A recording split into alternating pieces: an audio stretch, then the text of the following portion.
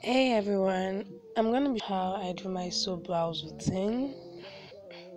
So you will need an edge control of brown soap and a brush and a small comb and a eyebrow pencil or eyebrow gel.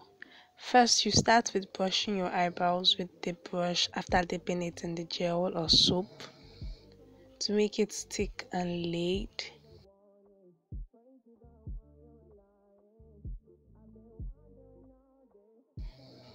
And then you fill in your eyebrows with your eyebrow pencil or gel.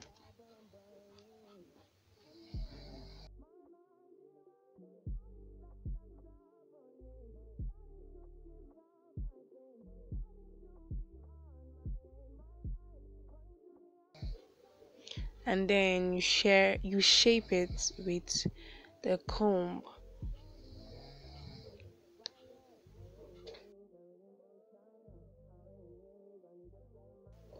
and that's all to the soap brows routine